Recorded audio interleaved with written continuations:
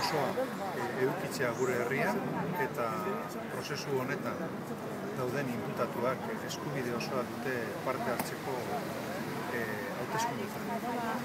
Arazoa da e, PP eta e, PSOEren politika.